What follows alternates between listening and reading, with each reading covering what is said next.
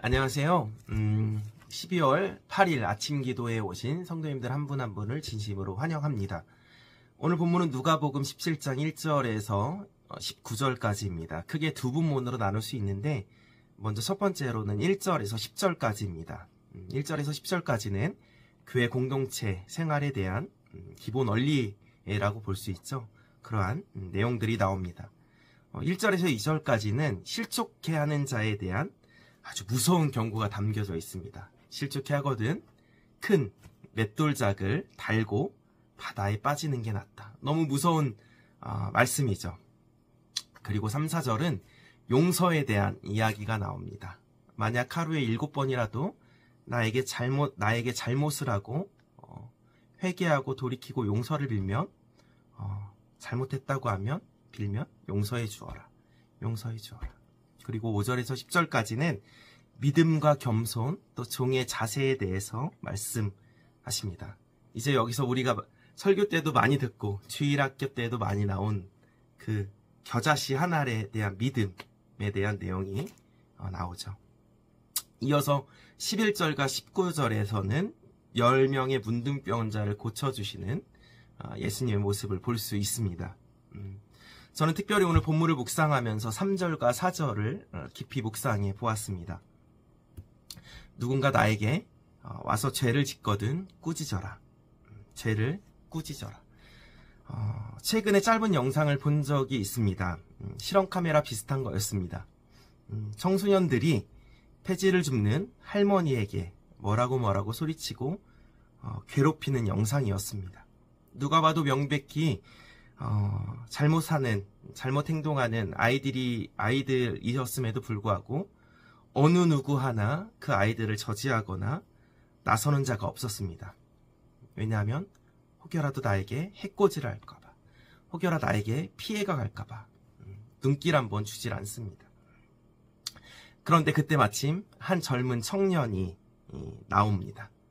어, 나오자마자 그 청소년들을 향해 아주 호되게 꾸짖습니다. 너희 학교가 어디야? 누가 이렇게 가르쳤어? 너네 집 어디야? 아주 호되게 훈계하는 모습을 담은 영상이었습니다.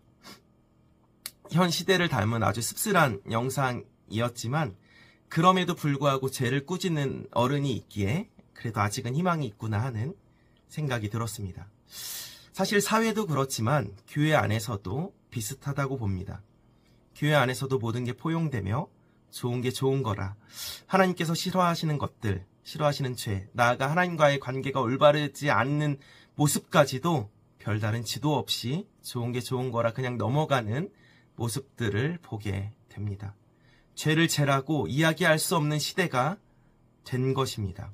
어떻게 보면 나이스해 보이고 어떻게 보면 그것이 어, 좋아 보이지만 결국 그것이 죽음을 이르게 하는 사망에 이르게 하는 길이라는 생각을 해보았습니다. 예수님께서 이 땅에 오셔서 마귀에게 시험을 받으시고 처음으로 사역을 시작하시면서 어떻게 말씀하시죠? 마가복음 1장 15절에 이렇게 말씀하십니다.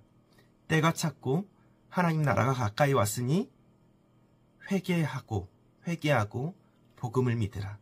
회개하고 복음을 믿으라. 그리고 침례 요한이 음, 이야기합니다. 마태복음 3장 2절에 회개하라, 회개하라, 회개하라. 천국이 가까이 왔느니라. 그리고 3장 7절에서 8절에 보시면 바리새인과 사두개인들을 향해 요즘으로 따지면 교회의 리더십들을 향해 이렇게 독하게 이야기합니다. 이 독사의 자식들아, 누가 너희를 가르쳐 임박한 진노를 피하라 하더냐. 그러므로 회개하고 합당한 열매를 맺어라. 회개에 합당한 열매를 맺어라.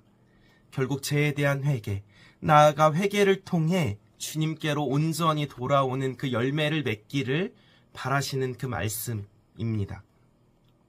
다시 본문으로 돌아와서 돌아와서 우리는 죄에 대한 경계와 꾸짖음이 있어야 합니다. 나아가서 어, 또 나에게 잘못한 자들이 있다면 또 용서하라고 말씀하십니다. 어, 용서 참 쉽지 않습니다.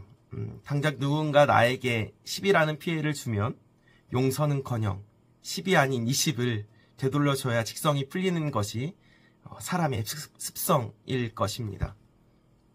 저만 그런가요? 삶을 살아가다 보면 음, 나 역시 용서를 구할 일도 생기고 또 용서를 해야 할 일도 어, 생길 때가 있습니다.